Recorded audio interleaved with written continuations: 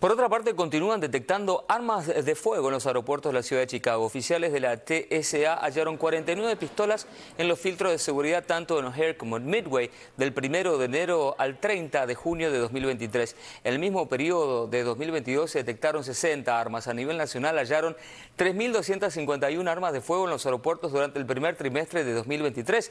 El total representa un promedio de 18 armas por día en los puntos de control de la TSA, de las cuales el 92% de las armas estaban cargadas.